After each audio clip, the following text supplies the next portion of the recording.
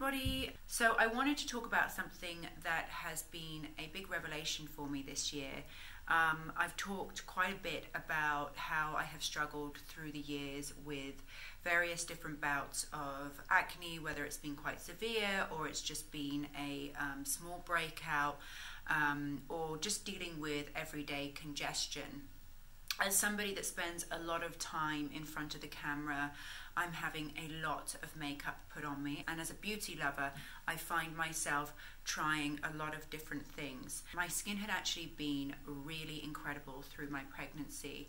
Um, and after his birth in 2017, about six months later, I noticed that I was getting an enormous amount of congestion um, in my skin. These were like closed comedone I think that's how you say closed pores, um, and just like a lot of little bumps. I'd go for a facial, I'd have um, uh, I'd have them extracted, and then within a matter of days, I was seeing that it was building up again. I just felt so insecure about my skin.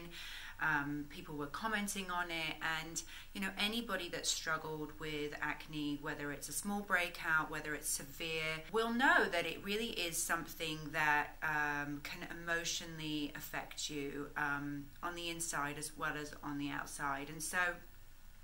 I really wanted to talk to you a little bit about non comedogenic, and I want to preface that by just starting to say that I'm still learning about this. Um, so be kind. um, and I really want to preface it by saying that. Um, this is the research that I've done. These are products that work for me. So, a lot of people actually don't know what non comedogenic means, and um, I'm going to explain it in the best way I can. Comedogenic ingredients are pore aggravators essentially. That's the really the best way of putting it. And I also want to preface this by saying that even if a product says it's non-comedogenic or it's oil-free, it might not actually be that. Um, and I want to just um, share with you um, a couple of websites that I go to to check um, if the products are non-comedogenic.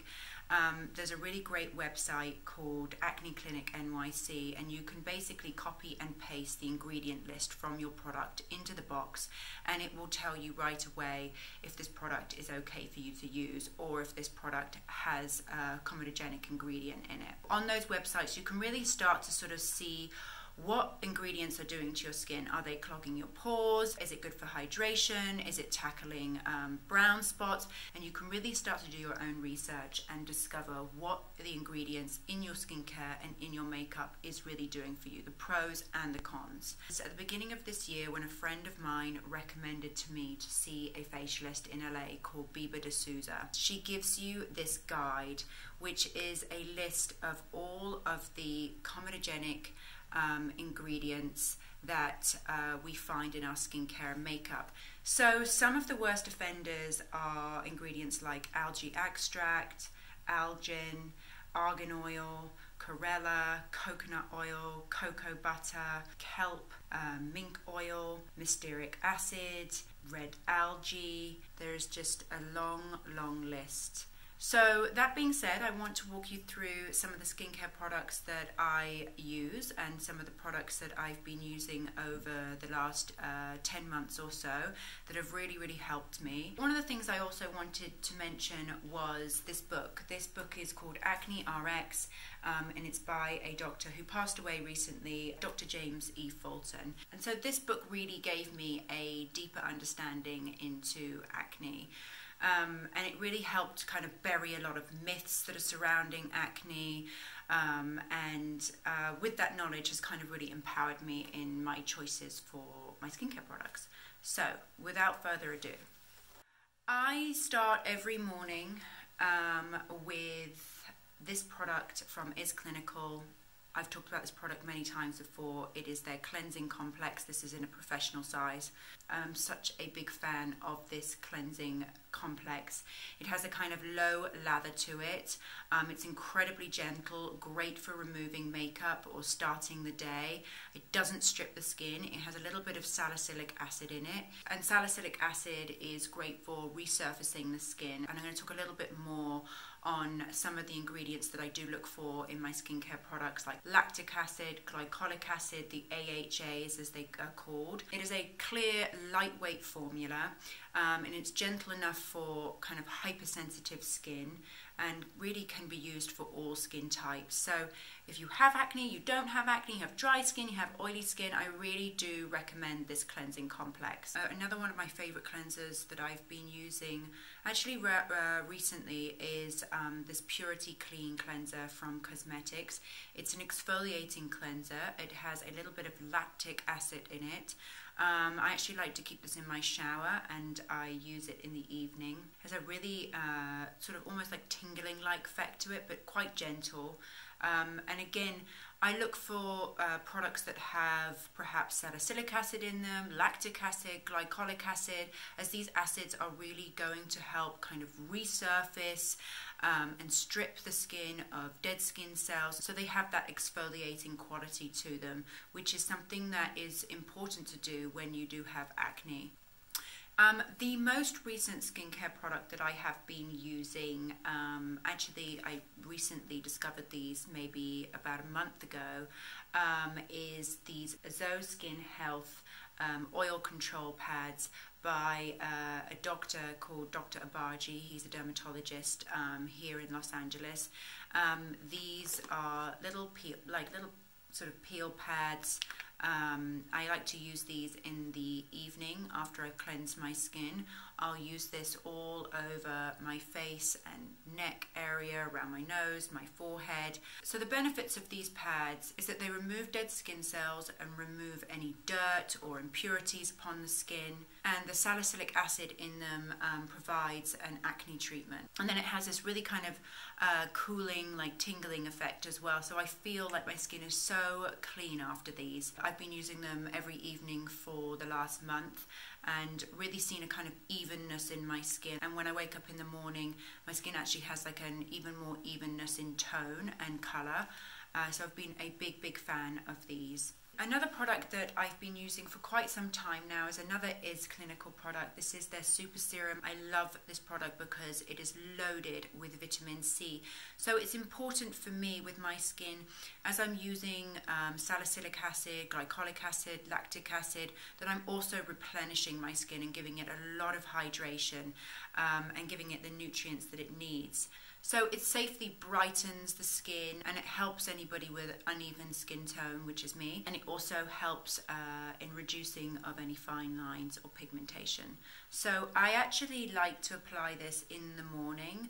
Um, and what I do is I add it into the Is Clinical Hydra Cool Serum. So I'm just going to apply a little bit in my hand so you can see uh, the colour and the texture. It is a gel-like texture, you can see. I'm going to try not dribble this everywhere, but it's a light blue colour um, and a gel texture and really does what it says on the tin, which is um, hydrates in a really cooling way. Um, for somebody like myself that has uh, congested skin, gel moisturizers are actually really, really great for me. And um, what I will do is then take the super serum and um, with the dropper apply three to four little drops into the Hydra-Cool uh, serum.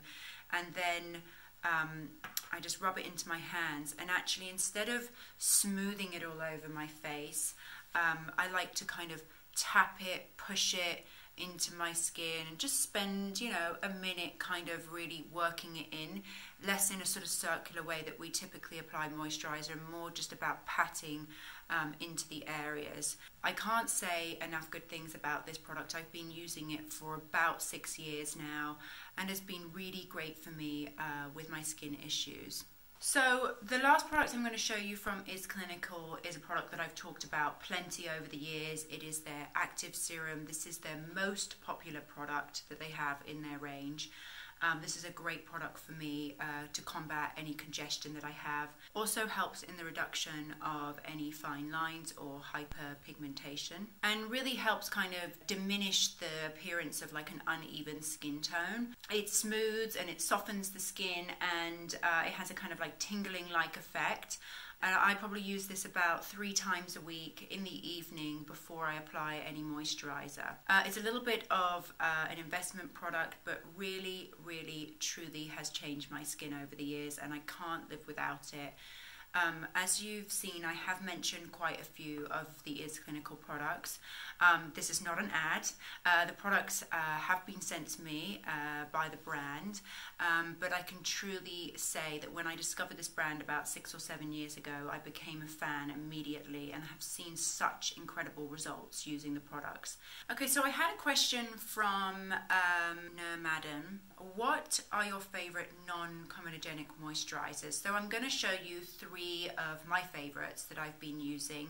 So one of my favorite moisturizers is from Biba. Uh, is my facialist I mentioned earlier, and this is uh, her daily moisturizer. It is a botanical moisturizer, perfect for daily use, hence the name. Um, and it is really lightweight. So for me, I really like this because it's not a heavy cream. It's great under makeup and just super easy to use every day. I don't have to think about it. it has a really kind of nice uh, citrusy scent to it.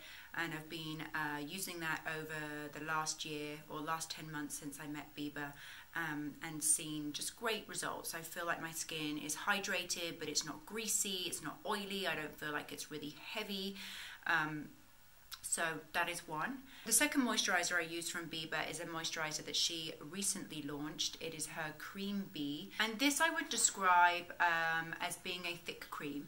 This has a lot of body to it and I like to use this in the evening because it is a little bit heavier. It is great for all skin types and I know with Biba whatever products that she recommends are of course going to be non-comedogenic.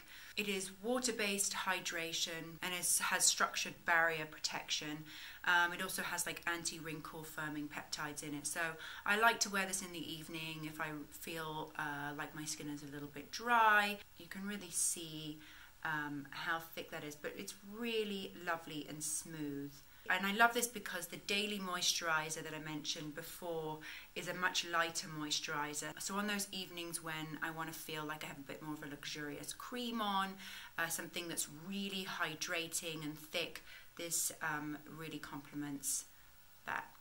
And then um, another moisturizer that I recently discovered is by SkinCeuticals. It's their Triple Lipid Restore uh, 242.